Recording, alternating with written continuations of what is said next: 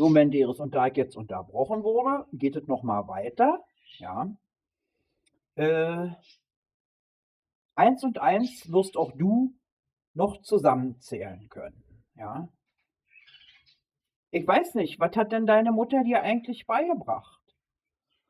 Und der Siegfried hat mir erzählt, dass du und auch der andere hier, dieser Murat aus Köln, ja, der ja der einen Frau da gedroht hat, er würde sie mit dem Seil am Baum aufhängen. Das ist alles, haben wir alle dem Verfassungsschutz gemeldet, Menderes.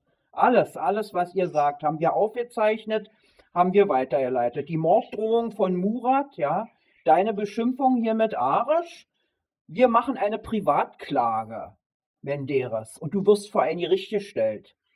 Ja, da kannst du dich mal dazu äußern, was du äh, uns als arisch betitelst. Hast du einen Knall? Das ist Rassist, Rassismus in seiner höchsten Form, Menderes. Solche Typen wie dich will ich im Knast sehen, ehrlich.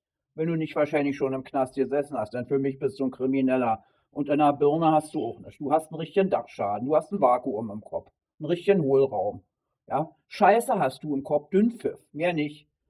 Und dann hat der Siegfried dir schon mal gesagt, dass wir eure Warteschleifen überhaupt nicht mehr hören. Ja, ich bin bei der Polizei, Junge.